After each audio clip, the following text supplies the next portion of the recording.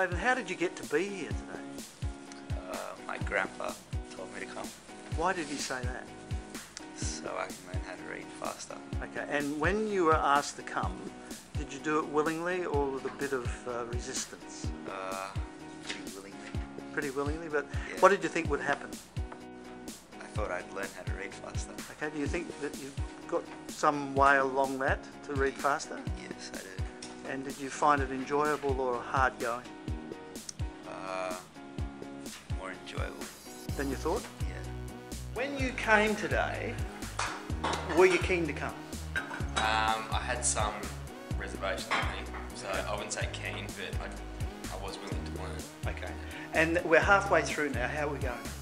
Um, I think we're going pretty well. As you showed before, um, everyone's comprehension skills are, look like they're increasing as well as their speed of reading. Did so, you expect that to happen? Um, probably not so fast, to be honest. Okay.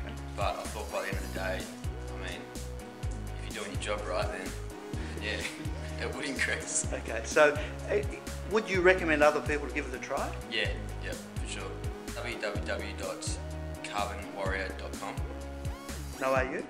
No, are you? Okay.